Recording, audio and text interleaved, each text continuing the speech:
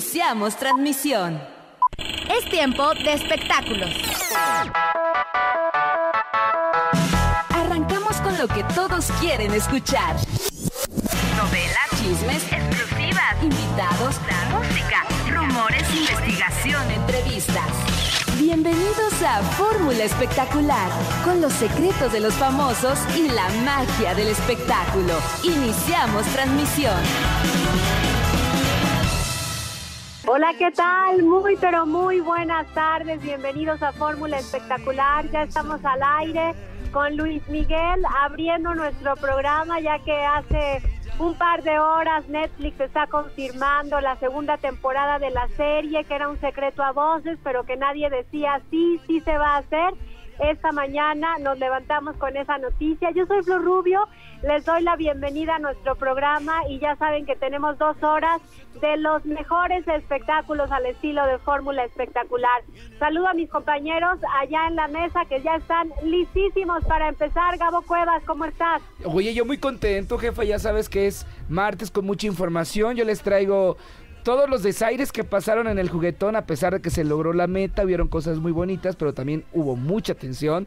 Les traigo toda esa información y también estuvimos en el cumpleaños de Fernando Carrillo, que bueno, jura y perjura que cumplió 50 años y déjame decirte que yo como que tengo mis reservas, pero al ratito te lo planteo en la mesa. Oye, Wikipedia dice que 55. Y si no, 54 decía ayer, ¿eh? Decía que eran 54, pero ya te platicaré la anécdota de Fernando quien desmienta Wikipedia. Y si mi memoria no me falla, fue él mismo cuando le preguntaron sobre esas fotos, ¿te acuerdas que aparecía en Tanguita, que tú mismo se lo preguntaste? Claro, claro. Él hizo referencia a 53 años en una entrevista y ahora pues ya se le olvidaron esos añitos y dice que tiene 50, pero guapo está y mucho, así que ya lo hablaremos más adelante. Bienvenido Joel O'Farrill, ¿cómo estás? Hola, ¿qué tal? Muy contento de estar con todos ustedes. Primer programa del año y ya estamos aquí con todo para darle a la información. Primer programa tuyo, el Primer programa mío, claro, por supuesto, yo lo sé perfectamente. Y bueno, pues ayer eh, parece que Gabo y yo nos poníamos de acuerdo, nos andábamos siguiendo, ¿verdad? Porque nos fuimos justamente a los eventos que Gabo les acaba de decir. Ahí también estuve yo, platiqué, tuve la oportunidad de conversar con el señor Alberto Ciurana, quien nos comenta de los proyectos que vendrán este año para, eh, para TV Azteca. Y por otra parte, también platicamos con Carla Estrada Flor sobre eh, pues la, la, el estatus que tiene la nueva versión del privilegio de amar eh, porque efectivamente, como tú lo comentaste en los últimos días de diciembre, sí hay cambios, sí hay cambios eh, importantes por un lado, y también qué está pasando con la serie de Gloria Trevi, bueno, pues también lo vamos a comentar. Gracias, Joelito. Buenísima tu información para empezar el año. Le damos la bienvenida también a nuestra cabeza del proyecto, Rafael Martínez. ¿Cómo estás? Hola Flor, ¿qué tal? Qué gusto saludarte otra vez. Tenemos aquí ya el promo de la segunda temporada de la serie de Luis Miguel y después también será bueno comentar con lo de Ana Paula, que está estallado en todas las redes sociales y me sorprendió ver que en YouTube tiene más de 5 millones de visitas. Es una locura esta situación de Ana Paula. Claro, porque a Dana Paola, lo habíamos comentado, es una figura global por todo el trabajo que hizo en esta serie Élite de Netflix. El público juvenil de muchos países la conoce y todo mundo está metiendo su cuchara para opinar a favor y en contra. Y si a eso le sumamos que ayer estaba anunciada para el juguetón y finalmente no apareció Dana Paola, pues yo creo que la nota está redondita, completa y sabrosa. Compañero. Oye, y, si empezamos por esa parte, Flor, porque bueno, ya diste tú ahora sí que eh, el pie sobre el tema de, del juguetón, porque ayer todos los medios de... Cuéntame, cuéntame qué pasó, porque pues hasta mi Rafa estaba sentado en la tele esperando que cantara Dana Paola, oye Pablo, y nomás que nunca llegó Dana Paola. Y no apareció ni el Oye, ni mucho menos Pablo, esa es la realidad. Fíjate que ayer los medios de comunicación fuimos convocados para estar en este cierre del juguetón, que se reunieron más de 18 millones de sonrisas. 18 millones 126 mil juguetes. 125 mil. 125 mil 950 y tantos juguetes. 753. Ok. Algo así, algo que termina Bueno, 126 mil. Vamos a poner 18 millones más, ¿va? Resulta que ayer estuvimos, Juelito y yo, en esta cobertura y era el evento tentativamente de la tarde porque estábamos casi todos los medios de comunicación, solamente faltaron los micros de Televisa porque había de todo un poco. Pues esperando a Ana Paola por esta situación, nos avisa la producción como a las 6 de la tarde que venía retrasada. Luego eh, yo me entero por alguien que estaba eh, como parte del equipo de que Dana Paola era posible que cancelara. Esa posibilidad no estaba confirmada. Hasta después de que cantaron estos Después de las 7 más o menos. Exactamente, que son un fenómeno los españoles. Eh, Now, si no mal recuerdo, que es uno de los... y Now. Esos, y Now. que son una locura. Con la participación protagónica del juguetón, ellos cierran el juguetón, cantan varios temas y sí las chavas los recibieron súper bien. Exactamente. Euforia total ahí en el, en el espacio, en el estacionamiento de Azteca donde fue el evento. Para eso a nosotros como medios pues nos colocaron eh, pues en un área en un back. En un, en un back estábamos muy a gusto, teníamos ahí algunos este, bocadillos, algunos refrescos y podíamos entrevistar a, a, quienes quisiéramos del elenco prácticamente, a quienes tú pidieran, bueno pues te llevaban, ¿no? Eh, estuvo muy bien organizado, muy. Eh, teníamos un poquito de frío porque imagínense, a las 7 de la noche estaba ya oscureciendo y ya se empezaba a calar el frío. Ajusco, tú estás acostumbrado un poquito más que nosotros porque tú ya llevas ahí varios meses, querido Gabo, pero uno sí sentía frío. Pero finalmente a las 7 de la noche nos dan la, not la noticia que nos dio mucho más frío del que ya teníamos, que es, señores, Dana Paola no viene porque eh, pues tiene contratiempos y, y, su participación ha sido cancelada, Gabo. Exacto, y aparte, déjenme contarle a toda la gente que nos escucha que Dana Paola, eh, como bien lo dijo Flor, estaba anunciada no solamente para el proyecto, sino también para los anunciantes, para la gente que finalmente eh, respalda este proyecto, que es una sí. causa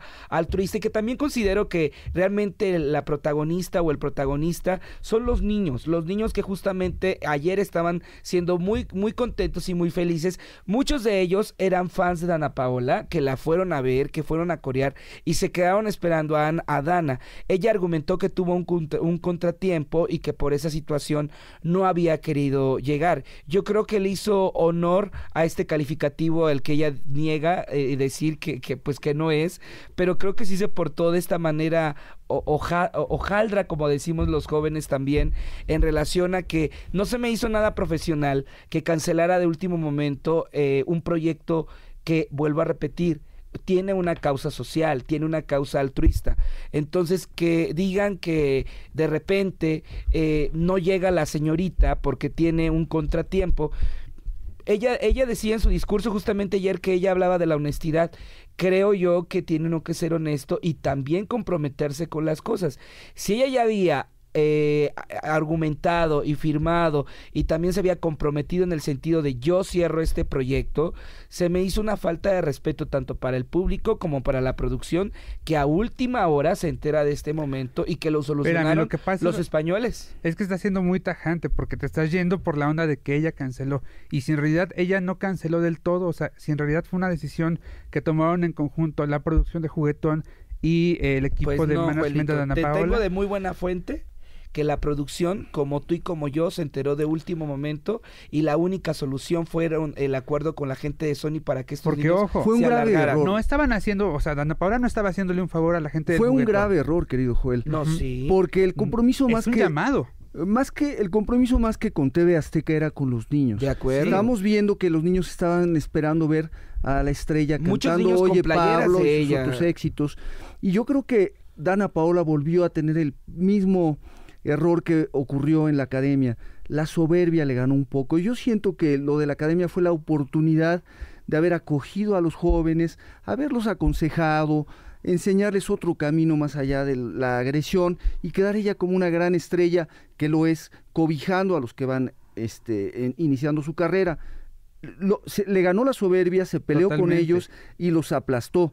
Ayer yo creo que fue un grave error no haberse presentado al juguetón porque más que TV Azteca eran los niños que estaban esperando verlo. La gente, jefe, perdón que, que anexe esto, le puedo decir que el equipo de Ana Paola, una vez más, eh, tengo entendido que la condición que había pedido era justamente no hablar con los medios de comunicación, pero pues era la nota que al final del día ella ya había expuesto en sus redes eh, con su comunicado y con este video donde argumenta la manera en que se expresó de este niño Gibran, que más tarde viene aquí a esta Lo que pasa es que comunicado, además, perdón querido Rafa, que a, mi gusto eh, carece de toda seriedad porque si ya te equivocaste con una cosa, con una postura que tuviste en televisión nacional, creo que lo menos que puedes hacer es dar un comunicado serio. Pero más allá de comunicados y de memes y de emojis y te quiero mucho, lo que vamos a vamos a una pequeña pausa comercial jefe con esta música que nos recuerda a la Ana Paola pues. buena educada y humilde. Escuchemos. Y esta es la Ana Paola actual no la de oye Pablo la grosera la de los no, no es cierto. En fin jefe usted se quedó con el tema pendiente de Ana Paola. más que grosera yo diría la inexperta. Muy inexperta. Pero lleva 20 años de mira Ana Paola claramente hizo eh, Wicked en teatro está teniendo muy buena aceptación en la academia, tiene una personalidad, ha ido construyendo muy bien su carrera, más allá de las telenovelas, ha trascendido.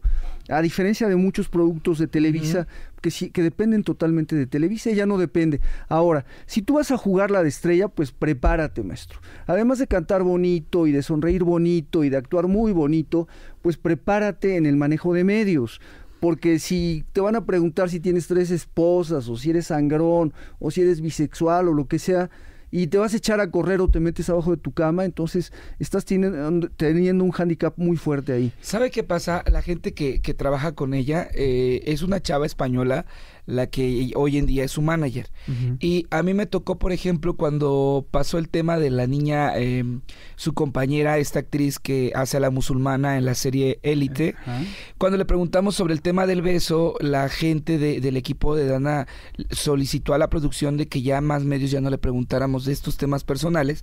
Y a Dana en, la academia la tienen literalmente excluida de temas personales y solamente le han pedido a la cual producción. Es la política del avestruz. Está padre. Visto Digo, como un derbez como la propia Belinda en un momento dado resuelven y dicen, a ver Gabriel, ¿qué quieres saber? No, no, no es así.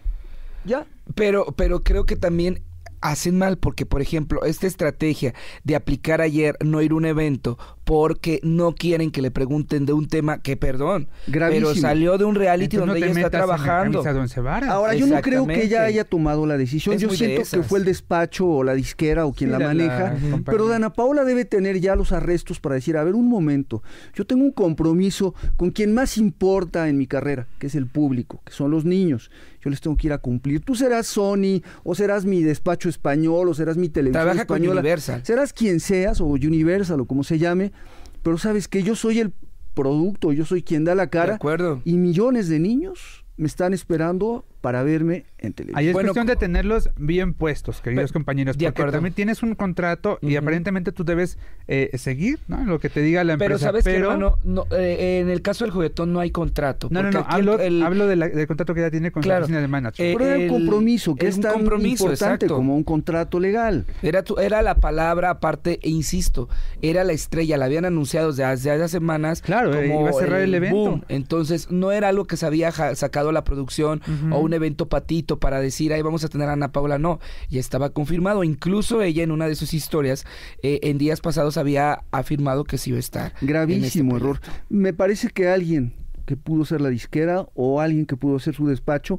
cometió el grave error y la mandó a ella por delante. y la que salió perdiendo es ella. Oye, la trascendencia de Ana, Paola es la de una figura que hoy día, a 48 horas de haber ocurrido este escándalo, tiene más de 5 millones de visitas en YouTube. Bueno, y no sabe la en Instagram, cantidad de memes en las que se han hecho. Y también ahorita el video ya se ya está en esta aplicación de TikTok, que TikTok creo que se llama TikTok, si no mal recuerdo, que eh, te roban el audio y tú haces la mímica de la voz y es una una locura de memes, ¿no? De risas, pero bueno, creo que Ana Paola, pues como usted ya lo dijo, perdió en esta ocasión. Para concluir mi comentario es, hay gente que es experta, que ha estudiado y que se ha convertido en todo un potentado en, este negocio, que es Víctor Gordoa. Víctor Gordoa asesora a políticos, a empresarios, lamentablemente artistas no, porque no saben invertir en ellos mismos en ese sentido. Y entonces meten la pata durísimo. y Dana Paola esta semana cometió el más grave error de su carrera. ¿eh? Oiga, jefe, pues fíjese que ayer, eh, me pasa el cablecito, por claro. Eh, ayer, eh, este niño, pues ni tan niño, porque ya está muy grande, ya, es, ya hizo un niño.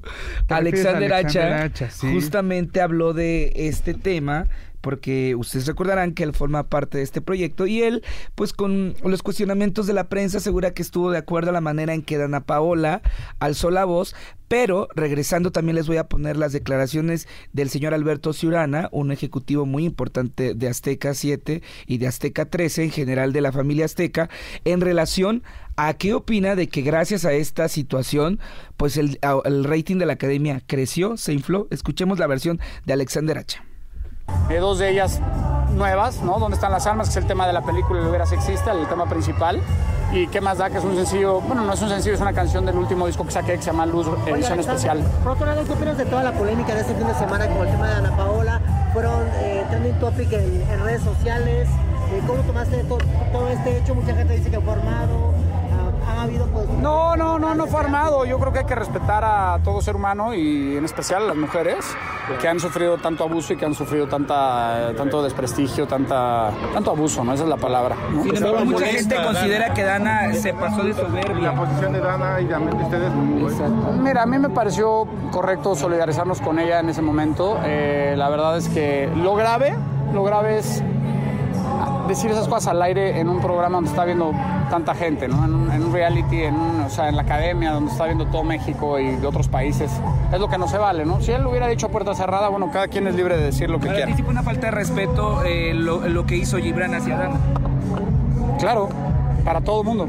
Pero él pedía que pasaran el video completo, ¿no? Porque decía que se sacaba de contexto nada más. Digo, fue una grosería muy directa, pero a lo mejor sacando el video podía No, yo creo que ya está todo muy claro, ¿eh? O sea, tampoco hay que seguirle buscando algo que ya está muy claro. Fue una ofensa. Dana lo, lo reprendió, lo, le reclamó y, lo encaró. Con la autoridad moral que ella tiene. Y, con la autoridad, no, con la autoridad en el proyecto, porque para eso estamos ahí, para criticar. Y si una persona que entra al proyecto no lo va a aceptar, no lo va a permitir y en vez de ello va a ofender ¿no? y a insultar, pues no debería de estar en el proyecto. Bueno, yo de, tengo como, no sé, una opinión diferente de, de las declaraciones de Alexander Hacha. Es muy diplomática. Sí, él es muy diplomático. esperaba. No esperaba yo otra Pero también creo, de verdad, que esta ola de vamos a respetar a las mujeres más que a cualquier persona. Yo creo que realmente hacemos mal. Yo creo que así como las mujeres y los hombres vivimos en una sociedad donde lo único que, que pedimos es respeto, igualdad. Me, me, sabe a lástima cuando una persona, como en el caso de Alexander, dice, hay que respetar, y más si es mujer, o sea, como por, o sea, las mujeres sí pueden exigir respeto, pero no podemos vivir de una manera igualdad. Adelante, la respuesta de Alexander Hacha fue muy política. Como dicen, ¿para qué va a sudar el calenturas ajenas? Él habla de que se solidarizaron con ella. Y al igual que él, voy a utilizar sus palabras, estoy de acuerdo en que Dana Paola encarara y se defendiera, pero creo que lo hizo de una manera incorrecta, una manera inadecuada, porque hoy día estamos hablando del tema de que si es o no es, de que si fue grosería o no fue grosería, cuando podríamos estar hablando de la grandeza de espíritu, de la grandeza de miras de Dana Paola, de saber entender a los jovencitos en su imprudencia, de aconsejarlos y enseñarles un mejor camino, una salida positiva. Lo que ella eligió fue una salida negativa de confrontación, muy agresiva, que no, no, no le queda bien a una Pero innecesaria, que este lema que dice jefe de que violencia no se, no se ataca con violencia porque genera más violencia, fue lo que pasó con el caso de Ana Paola, pero que usted lo acaba de decir. O sea, ok, me dijiste ulera, pero lo puedo hacer de, otro discurso, o sea, de un discurso a lo mejor donde le haga ver al chavo que primero me tiene que respetar y que yo no me estoy metiendo con él. Alexander Hacha en uno de sus consejos a uno de los muchachos de la academia, que no sé quién era, le habló de que él podría ser un factor de felicidad para los demás. No sé a quién se lo dijo. Creo que fue a Carlos cuando la infidelidad, ¿no? Algo así. Dijo, oye, pues tú puedes ser un factor de felicidad. Yo siento que Dana Paola pudo ser un factor de, positivismo, de, ayudar a los que están abajo, de quedar con un espíritu grande. Y no, lo que hizo fue poner, subirse al ring y agarrarse a trancazos. Y es donde está parada ahorita. Claro. Pero les decía que esta situación a TV Azteca le generó un millón de, espectadores en la academia. Resultado que fue bueno, Y bueno, ayer que nos encontramos al señor eh, Aquí nos encontramos, Julito. Al señor Alberto, Alberto que es el, director de contenidos. Pues estaba justamente celebrando el triunfo de, este resultado y opinó en relación a si considera que la actitud de Ana Paola fue positiva en cuestión del programa. Escuchemos. Lo ve, la, audiencia lo ve bien, ¿no? En redes sociales, bueno, sigue siendo hasta el día de hoy tema la academia. Es que hay un, hay un punto importante que, mucha gente sí detecta. la, la academia mucha gente la está viendo en la, aplicación, la ve en digital, los jóvenes la ven en digital. Entonces, por eso la academia siempre es número uno. Ayer había trending, era trending la academia, era trending Dana Paola, era trending Gibran, eh, Gibran era trending hasta Lolita. O sea, había muchos trending de la academia, lo que provoca la academia. ¿Y usted vio todo lo que pasó con Ana Paola como, eh, como una persona bueno que cuida mucho los contenidos? ¿Qué opina de todo esto? bueno, ella es válido, yo creo que ella tenía que, defenderse, ella tenía su punto, eh, yo creo que tiene mucha razón, no se le puede faltar el respeto, no solamente a una mujer, que obviamente ella como mujer, pero a ningún hombre, a nadie se le puede faltar el respeto. Va, y además, pues no hay que olvidar que están en una casa donde hay micrófonos, y hay cámaras, ¿no? Eh, ¿Habrá el próximo año academia? Ya lo anunciaremos en su momento. Buenísimo. Deja que termine esta. Gracias, señor. Gracias. Bueno, ya lo dijo el señor Alberto, él apoya la postura de Ana Paola porque sí considera que fue una falta de respeto a la actitud de este chico de Guadalajara. Tampoco esperaba yo que te dijera lo contrario. Todo es diplomacia. creo que sí estuvo bien que se defendiera, pero no lo hizo de la manera adecuada. Ahora, si tú hablas con un ejecutivo de alguna televisora, llámese Televisa, TV Azteca, Imagen o BBC de Londres o lo que tú quieras, pues la televisión es un escenario. ¿Sí? Sí, sí. Y, a la televisión lo que ellos venden son audiencias. A los anunciantes le dicen, ah, este, oye, yo te vendo audiencias con este concepto. Y ese escenario, Dana Paola lo podía haber utilizado como un ring de pelea o como una plataforma para infundir positivismo, expresarse como una estrella que le ayuda a los demás. Claro. No sé, a lo mejor me equivoco, pero hay que ver lo que viene el próximo domingo en relación a este tema. siento que pues vamos a una pequeña pausa comercial porque es lo más próximo y regresamos con más información aquí que vamos a hablar de los cincuenta y tantos años de Fernando Carrillo. Ay, es Fernando Carrillo cantando. Que les platico, bueno. Nunca lo hubiera adivinado realmente. Al ratito les vamos a platicar más de la celebración de los 50 años. Juras que cumpliste 50 años, Fernando. Pues no, Wikipedia no miente. 52, 52. Bueno, le voy a creer a mi, a mi cuate Fernando porque me va a invitar a su hostal a sacarme a los demonios. Ya luego les platicaré esa nota. Pero mi Juelito trae notas porque luego dicen, ay Gabo. No, pero espérame, ¿por qué no les platicas de una vez lo de los 50 años? Bueno, me parece perfecto ya, porque es como desarrollando. Pues Carla Estrada, que es de claro, Exacto, porque fue su madrina, una de sus madrinas, de hecho, que lo trajo aquí a la Ciudad de México. Ayer Fernando cumplió 50 primaveras. Y la verdad es que fue una celebración que le organizaron eh, sus amigas y sus amigos que estuvieron justamente con él en este en esta noche.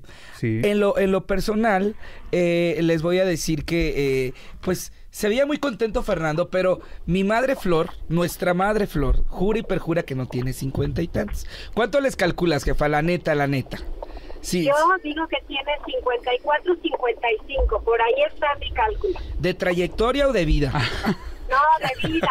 Te voy a decir, te voy a decir por qué no tiene 50. La generación Timbiriche está entre los 48 y los 50. Sí. Le hace Talía, Paulina Rubio, Eric Rubin. Él es más grande que esa generación. No tiene 50 años. Es la generación que sigue. Claro, totalmente de acuerdo, Flor. Sí, ah, mira, mi referencia es esto. Cuando él viene a México a ser Marisabel en el 97, él no se veía tampoco como de de 30, yo lo veía un poquito más grande, 33, 34 años más o menos, ¿no? Y de ahí parto. Y viene a ser pareja con Adela Noriega, que también es más grande que la generación Simbiriche. Claro. Entonces, ahora resulta que Fernando Carrillo es más chico que Adela Noriega. O sea, ¿en qué momento le quitaron los años? Al paso que vamos va a ser más chico que yo también. Al rato va a decir que ya tiene 31 y va a decir Oye, que hay unas actrices que ya tienen mi edad. Galilea, ya Galilea ya tiene tu edad, déjame no, No, no, Lucía Méndez ya tiene tu edad. Ay. Oye, Flor. Ahora, lo que estás teniendo, y no sé si ya lo comentaron, es la entrevista que te dio y que pusimos esta mañana en Venga la Alegría, donde habla de este, de este viaje o paseo espiritual que realiza en su hotel en la Riviera Maya. Híjole, me parece muy irresponsable de parte de Fernando porque bien que mal, se trata de una droga, Gabriel, y, y, no, y no debe promoverlo como si fuera el paraíso. Flor, después de estar viendo el reportaje de ustedes en Venga la Alegría, me puse a buscar algo en internet y aquí Gabriel lo tiene, no sé si quieres que te lea algo. No, léalo usted, porque si quiere yo le voy platicando. Mire, yo, yo te voy a platicar, jefa. No, ¿Se los leo al aire o lo que...? Si, quiere usted, nomás déjeme comentar esto, jefe, porque ayer antes de terminar este reportaje, a las 2 de la mañana yo le marqué a un chamán, que son estas personas que realizan esta práctica. Hay que explicarle a la gente que el sapito es una, em, pues ellos le llaman ritual, que es un ritual que consiste en buscar un sapo, que hay sapos, por ejemplo, que los traen de Colombia, otros de Brasil, otros de, de Sonora, y lo que hacen es quitarle una sustancia de la espalda del sapo, que es un líquido. Exactamente. Y esto que hacen, lo meten a una pipa eh, y, lo fumas, ¿no? Lo inhalas. Hay otras que eh, esta sustancia que es, eh, me explicaba esta persona, que es un amigo que se llama Gibra, que es chamán, me explicaba que hay otro proceso que es que te ponen esas escamas o ese líquido en la espalda, pero te hacen cinco heridas para que te peguen, que es un nivel más fuerte del sapito, ¿no? Esta práctica, según la Universidad de Nueva York, un estudio que hicieron en el 2012, aseguran que es una, una droga justamente porque te hace alucinar, ¿no? Y Rafa tiene más información de, este tema que pocas personas conocen. Sí, en Internet es fácil encontrar que los científicos son escépticos de estas virtudes porque la secreción del sapito contiene una cosa que se llama demi, dimetiltriptamina, que es un enteógeno, bueno, y que se puede considerar una droga alucinógena, pero que no es medicinal. Y también dice que esta sustancia, el eh, el entógeno, es, es una sustancia vegetal con propiedades psicotrópicas que cuando se ingiere provoca un estado modificado de conciencia. y se utiliza en contextos espirituales, religiosos y ritualísticos. Lo que yo creo es que si alguien se toma algo de esto no pasa el alcoholímetro. Yo conozco de gente, así gente, te lo tengo que decir, de amigas, casi el 70% de mis amigas ha hecho este tipo de actividades. Ellos aseguran que en este viaje es como si te murieras. ¿Por qué? Porque te duermes y en, según tu corazón deja de latir cierto tiempo y es donde tú te conectas con tus issues o tus errores de vida, tus demonios y cuando despiertas, despiertas siendo una mejor persona. Algunas personas me platicaba este chamán que ayer entre, bueno, que ayer platicaba con él para que me asesorara para terminar este reportaje, que hay gente que se ha quedado, Flor, con efectos, pero con efectos, Juelito. O sea, no, no, de, no de las historias que ahí te quedas muerto, sino de las personas que se quedan en el viaje, me explico. O sea, a lo mejor con una taquicardia de por vida, con un efecto de, de ¿Alguna la vista cerebral. exactamente perdida. Entonces, me platicaba que no cualquier persona es candidato para someterse a este tipo de rituales, sobre todo las personas que consumen antidepresivos y que tienen una vida pues bastante eh, es que es muy importante el estado, emocional, en, el que en el que tú llegues cuando vas a hacer esta práctica. Y Fernando lo que ha hecho es un buen negocio porque eh, está en este hostal de Tulum, se asoció con una persona que hacen rituales. Y aquí les dan el, el sapito. Dímelo, jefa. Gabo, y este negocio es legal porque estamos hablando de drogas y estamos hablando de que no todas las personas narran una historia positiva y, y no todas las personas tienen una reacción positiva a este tipo de sustancias y sabemos que llega a ser muy peligroso porque no todos los cuerpos reaccionan de la misma manera. Mi pregunta es si es legal esto que está ofreciendo Fernando Carrillo en su hotel o lo, o lo ofrece de forma extraoficial porque se lo habló de forma muy abierta. Sí lo hace de una manera extraoficial porque aquí el negocio es un hostal. O sea, tú vas a Tulum y pagas tu hostal normal. Creo que el precio está en 400 pesos la noche y el ritual sí es caro. Los rituales van aproximadamente de los 10 mil, 15 mil a 20 mil pesos, dependiendo de, de... Sí, son caros. O sea, no, no, no. Pero él, él justamente ha invitado a varios compañeros de nuestra área de, de reporteros a que vivan esta experiencia. ¿sabes? Y lo han hecho. Pero bueno, ayer Fernando habló de este tema y me gustaría como reproducir parte de las declaraciones que ayer nos brindó eh, en relación a este tema del sapito, que como ya lo acabas de decir tú, es señalado como una droga psicoactiva. Escuchemos. Alucinógena, si es justamente una ceremonia, si es un ritual para hacer. ¿Qué son las drogas y qué son las medicinas? ¿Cuál es la diferencia? Porque yo por, ahí veo en Tulum varias tiendas que dicen drugstore, drugstore. Eso quiere decir tienda de drogas, así se, llaman las farmacias. Entonces, ¿cuáles son las drogas legales y las no legales? ¿Quién tiene el poder de decir esta sí, esta no? Entonces el tabaco como hay un grupo muy poderoso que apoya el tabaco, entonces ese es legal y ese es chido. El, alquitrán, la nicotina, el cloruro de sodio que te hace adicto a las cosas, eso está padre. La epidemia más grande que sufre el mundo hoy no es, lamentablemente, drogas muy malas y muy feas que hay por allí, pero ni siquiera son las drogas más conocidas, esas de consumo de heroína, cocaína, marihuana, no. La, peor epidemia que hay en el planeta ahorita y principalmente en Estados Unidos, país al que quiero mucho, eh, son las pastillas recetadas, son lo que tú vas, el Prozac, los antidepresivos, el, el, eh, todas esas pastillas que eso sí es legal. Entonces estas mismas personas que buscan eh, ofenderme o decir que ahora yo promuevo alucinógenos, esas personas están bien con las drogas, las prescripciones eh, legales. Entonces hay como una doble, un doble discurso y una doble, dobles, dobles valores allí que no me cuadran, ¿no? Yo lo que estoy haciendo es un santuario con mi socio Valle Taloma. Tenemos dos habitaciones donde hemos curado a gente de depresión, donde si te metes a la página y ves todos eh, los testimonios son positivos, son de gente que ha dejado la depresión, los miedos, los vicios. yo Vicky por eso, fue, de hecho me acaba Vicky fue y pues muy bien. fue Addis y se sintió muy bien, fue el esposo de Addis y se sintió increíble. Yo mismo estaba fumando cigarrillos porque a principio de año comencé una obra con Rubén Lara, quien quiero mucho, y me tocaba fumar en el escenario. Bueno, él habla hasta que eh, gracias a este ritual dejó eh, el vicio del cigarro que lo había retomado. Pues me parece. Que creo es que tomar este tipo de sustancias tiene que ser una decisión personal y él como figura pública no debiera promoverlo porque estamos hablando de una decisión que pone en conflicto la salud en muchos de los casos. Entonces, él puede meterse en un problema, más allá de que a él le haya ido bien, como evidentemente le fue, porque por eso habla del tema, él no puede meter las manos al fuego para que a todos les vaya bien. Y ahí está el caso, que aunque no es la misma sustancia, es un caso similar, el del hijo de Elizabeth Tupeirón. Entonces, yo creo que Fernando compromete su buen nombre al recomendar este tipo de drogas, por más bien que le haya ido a él. Vamos a una pequeña pausa comercial, ¿te parece? Porque este tema la gente está reaccionando mucho en redes sociales, opinando.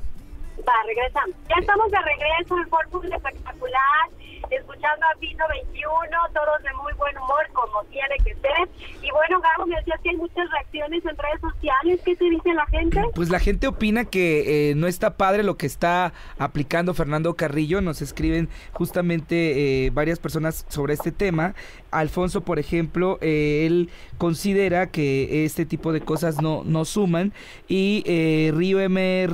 Río XM Río Dice, si hubiera entrevistado Gabo Cuevas a Valentina de Albornoz antes de la tragedia de la Guzmán, hubiera sonado igual a Fernando Carrillo. Obvio defenderá lo que ofrece hasta que suceda una tragedia. De hecho, te tengo que comentar que yo ya estoy preparando mis maletas porque me invitó junto con otra compañera a ir a este ritual y lo estoy pensando para ver si, si me saca los chakras y los demonios internos para regresar como él en paz. Y, voy a decir puros comentarios de divino, precioso, espectacular. Oye, un buen consejo para Fernando Carrillo es que se ponga en contacto con la COFEPRIS, que es la Comisión Federal para la Prevención de Riesgos Sanitarios, porque un día le van a caer y ellos no van a querer al sapito. Ahorita que decía Flor que sí es legal, tengo yo entendido que no es legal esta práctica, pero como te repito, como él lo tiene dado de alta como un hostal, a lo mejor es como, ahora sí que como la carta de presentación. un delito, entonces. Es complicado. Oye, pues después de, después de tantas notas en una de esas, pues ya no lo va a poder seguir haciendo, ¿no, Gabo? Ay, no sé, jefa, pero déjame mínimo ir a conocer el mar en Tulum, ¿no? Pues ya que ya que nos está patrocinando. No, la neta yo sí lo dudaría hacerte, soy honesto, me da miedo.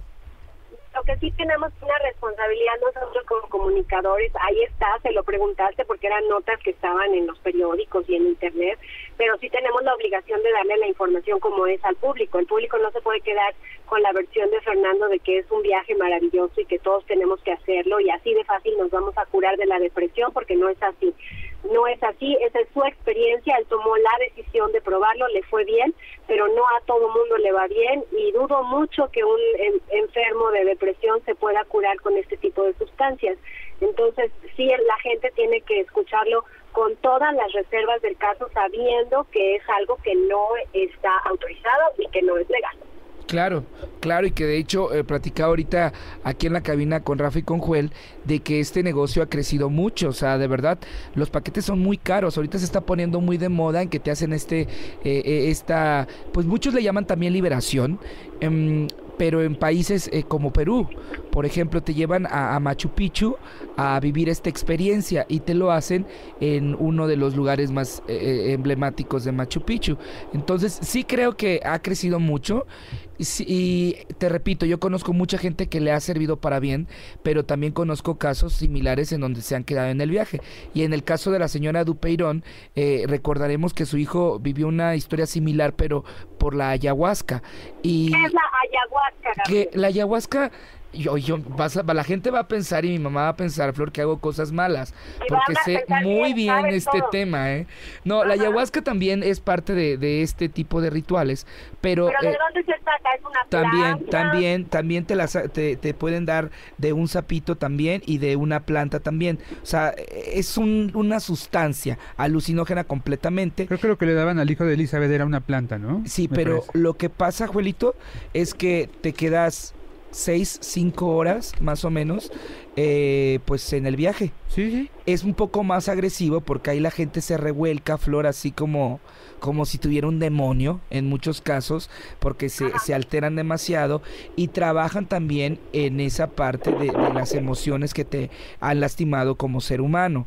Eh, esta práctica ha crecido demasiado y es un poquito más agresiva muchísimo más agresiva porque vomitas, porque gritas, porque te arrastras e, e inclusive hay gente que eh, pues ah, terminando de, las 5 o 6 horas sigue con este efecto hasta 10, 12 horas. O sea, es, Pero qué horror, o sea, qué horror, ¿quién quiere hacer eso? Miren, yo les voy a dar, igual me voy a ver muy mamá flor, pero para mí no hay experiencia más liberadora que tener plena conciencia, es decir, estar en plena lucidez, respirar, saber lo que estás pensando, saber eh, y sentir eh, todo lo que hay a tu alrededor, tener capacidad y plenitud en tus cinco sentidos. Es absolutamente absurdo tener que ingerir una sustancia para sentir plenitud. ¿De dónde sacan eso, Gabo? Es la industria de las carencias emocionales, Flor. Es eso, en realidad. Y recordar, recordar a la gente que la ayahuasca es por medio de una bebida, Juelito. O sea, es lo que te mete, ¿sabes? Pero bueno, finalmente Fernando está en el ojo del huracán con esta situación. Y ayer, dígamelo. ¿y, quién fue su cumple? Mínimo, digamos algo del cumple. Ah, bueno, pues Juelito aquí te trae la nota de 8, porque Juelito hizo la parte rosa y yo la parte coqueta, ya sabes, ¿no? a ver, Bueno, es que vamos a empezar porque, por ejemplo, el, el primero en llegar, déjenme contarles, fue el señor Rafael Herrerías porque eh, es, muy, es, es, muy amigo de Fernando, ¿no? Entonces lo invitaron. Y eh, pues por supuesto que siempre que llega el señor Herrerías a algún lugar, el tema obligatorio es necesariamente eh, Luis Miguel, ¿no? Entonces, bueno, esta vez también no, no, fue la, no fue diferente la historia, se le preguntó de Luis Miguel y entonces yo de pronto me le acerco al señor Herrerías para entrevistarlo ¿De, qué creen que le pregunté? Pues también de Luis Miguel, por supuesto.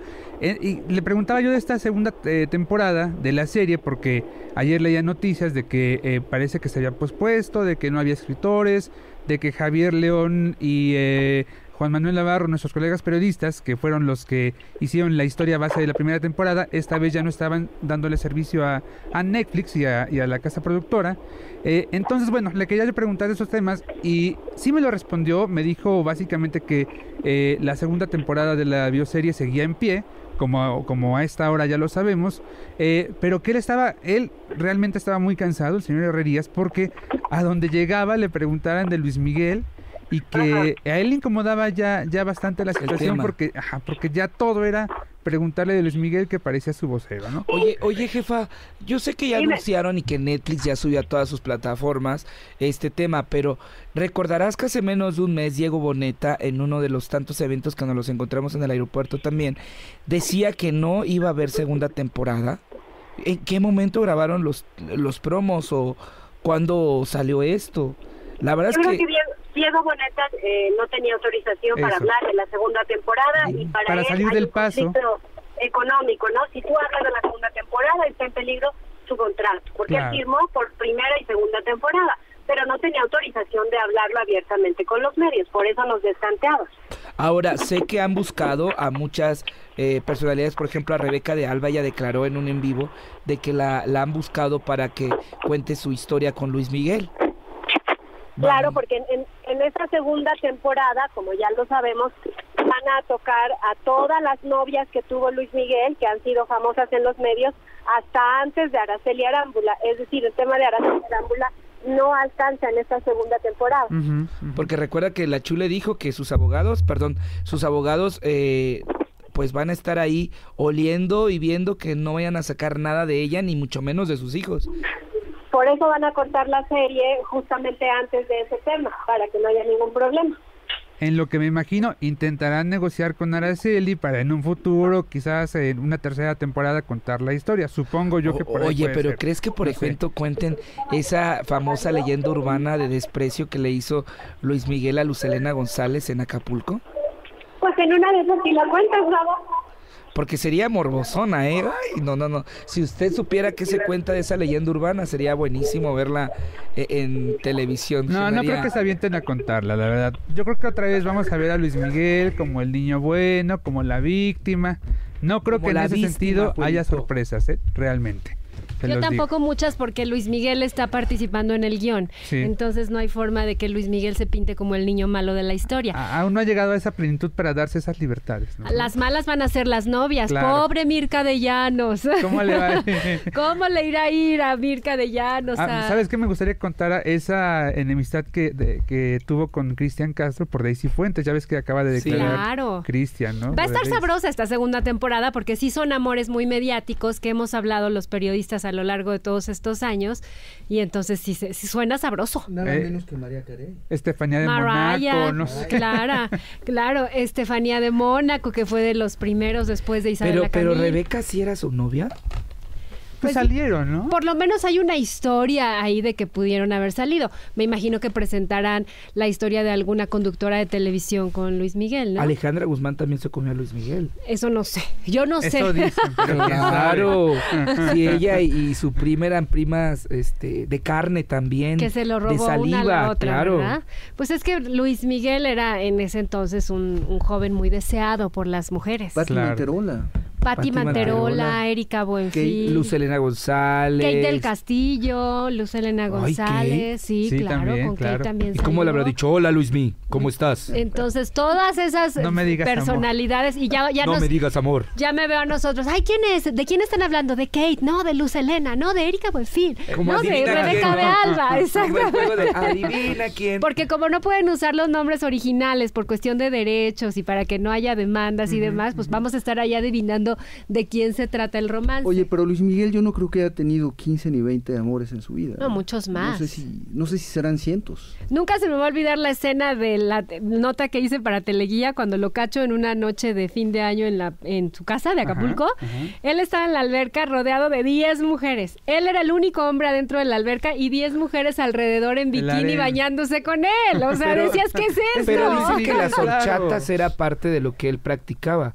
Yo me sé por eso yo te decía lo de Lucelena, porque suena el rumor de que... Ay, pobre Lucelena, ya es una señora casada, ya hasta ahí llegamos. Pero, hasta la vida es así, no, podemos, o sea, por ahí se dice que ella fue víctima de estas horchatas. Bueno, Ninel Conde, nos falta Ninel Conde. bueno, está Gabriel, hasta la pobre chilindrina va a salir. Oigan, que por cierto, Ninel Conde ya no puede entrar al país, sí saben, ¿no?